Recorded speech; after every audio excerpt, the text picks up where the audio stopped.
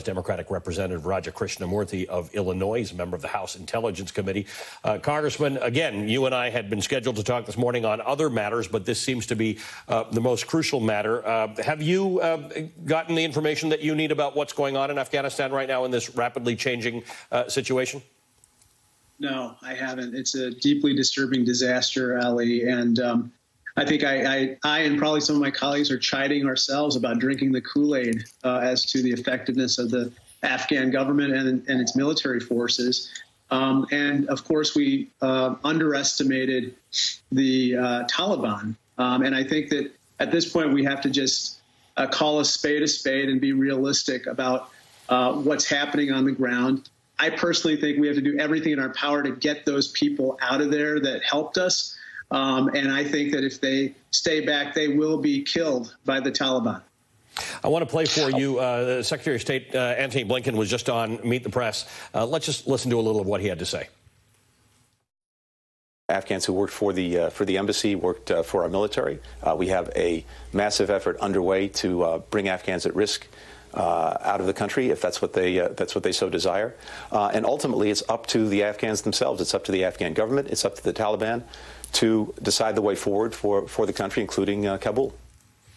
Uh, that, that, that's a loaded statement. It's up to the Afghans themselves, up to the Taliban and the Afghan government to decide the way forward for Kabul. Uh, doesn't seem like it's a whole bunch of equal parties negotiating at the moment. It sounds like the Taliban's got Kabul, uh, uh you know, circled, uh, and it's it's taken these other places, and they're basically the only negotiation at the moment seems to be for safe passage, uh, maybe for Afghan government members, and certainly it appears that the American negotiator has said to the Taliban, "We need 72 hours to clear out.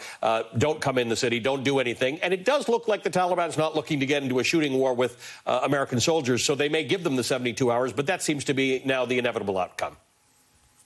I wouldn't put anything past the Taliban at this point, Ali. They're a bunch of mendacious killers. And um, on the one hand, their spokespeople say they're going to uh, respect the safe passage of any number of people out of Kabul. They're going to respect women's rights. They're going to uh, make sure no one goes uh, harmed. But on the other hand, the reporting from uh, folks like yourselves and others on the ground paint a very different picture.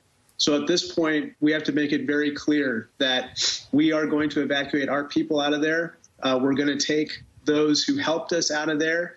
And if they want any aid, which they desperately want from uh, countries like the U.S. or any of our partners, here are the conditions that underlie that aid.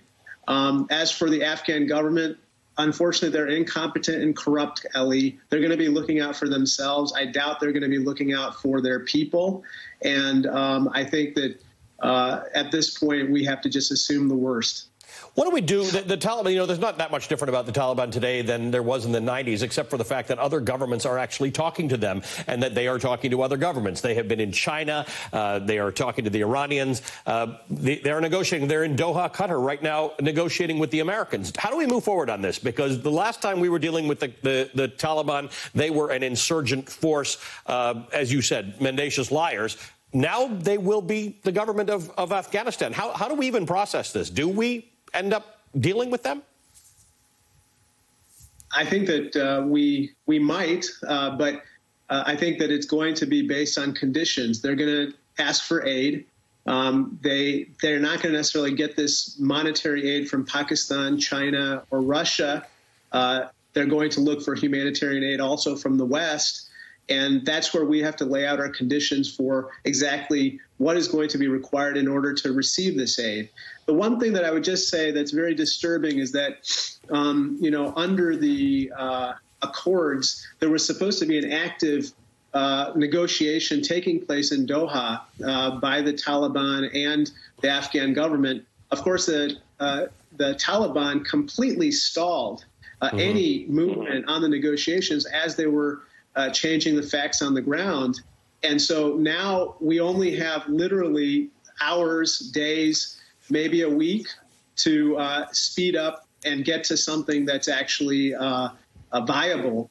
But uh, at this point, we have to just assume that uh, you don't uh, trust anything that the Taliban says. You have to see the way that they act. Congressman, uh, please keep us posted on what you learn. Thank you for being with us this morning. This is a, a remarkable unfolding story. Congressman Raja Krishnamoorthi of Illinois is on the House Intelligence.